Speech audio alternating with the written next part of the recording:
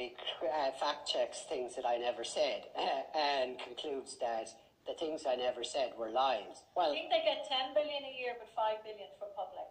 5 billion from public funds directly, yeah. yeah. Um, so, uh, and they are they use this to spread anti-Irish hatred.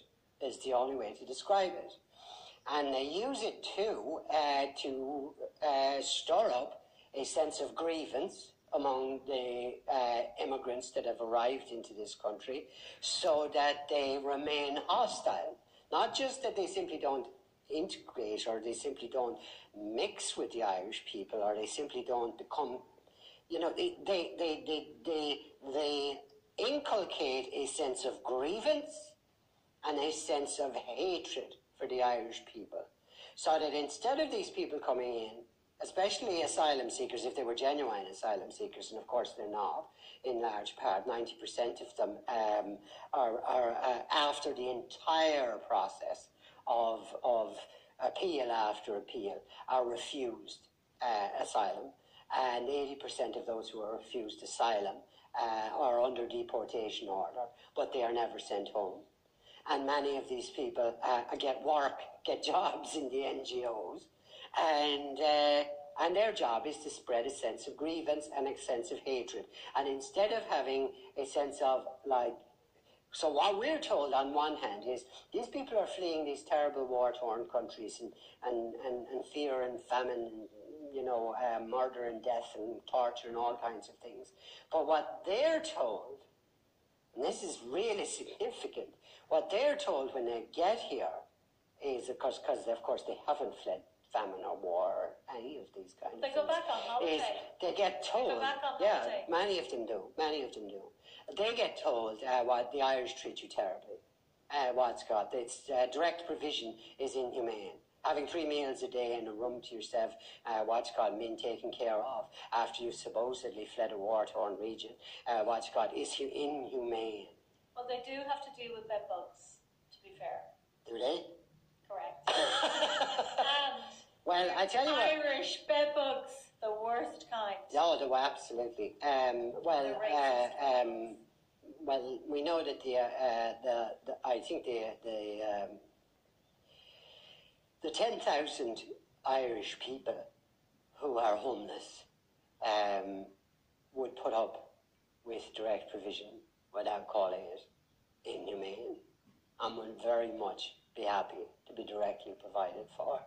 Uh, but nobody seems to be worried about that. And Charlie Flanagan says things like, I do not want to see a single, this is his phrase, and this is fine within and of itself. As a statement, it's fine if you're talking about genuine people.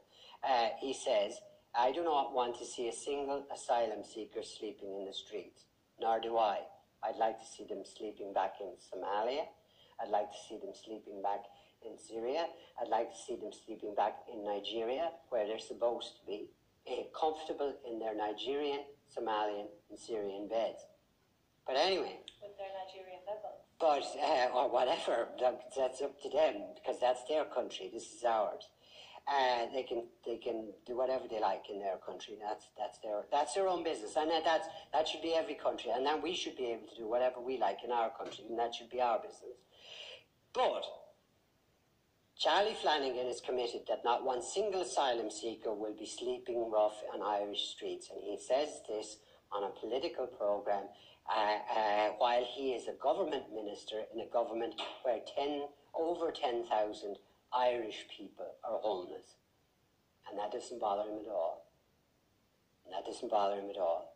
But not one single asylum seeker must. Not single one, not one single fraudulent asylum seeker, not sing, one single fraudulent refugee must ever find themselves in the circumstance that the government of this country, Fine Gael and Fianna Fáil, because they are in government together, the stupid debates they're having between the two of them, and Micheál Martin saying that, like, oh, the Fine Gael had le- have left the Irish people down in the last uh, four years.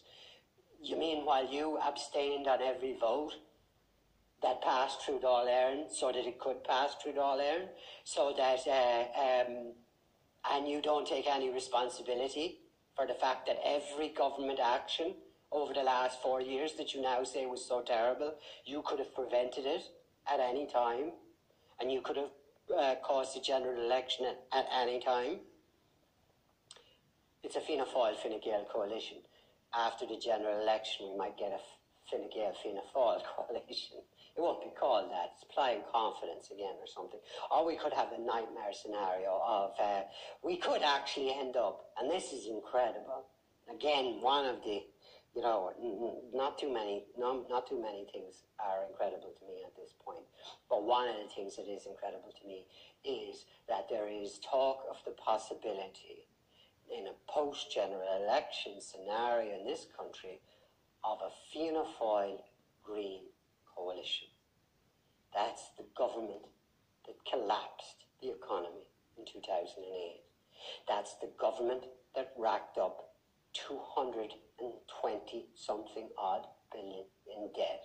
That's the government that paid the bondholders, the international finance capital speculators, out of my pocket, your pocket, everybody else's pocket, Irish people's pocket, uh, and save the taxpayers in other countries in Europe, by the way. But that's that's neither here nor there because I have sympathy for them too. They're under they're under the same elite control. Um, the fact of the matter is there's talk of the possibility that these people will be in government again. And I'm not talking about the same parties. If it was Fianna Fáil, you could say, oh, well, Fianna Fáil have changed now. No, their leader was a cabinet minister. The leader of the Green Party was a cabinet minister in the government that destroyed the economy, in the government that caused the greatest economic collapse in the history of the state. The only time since British rule that the economic sovereignty of the nation was handed over entirely, as opposed to being, you know, manipulated and influenced, but was handed over entirely to a foreign body since the foundation of the state, since the end of British rule.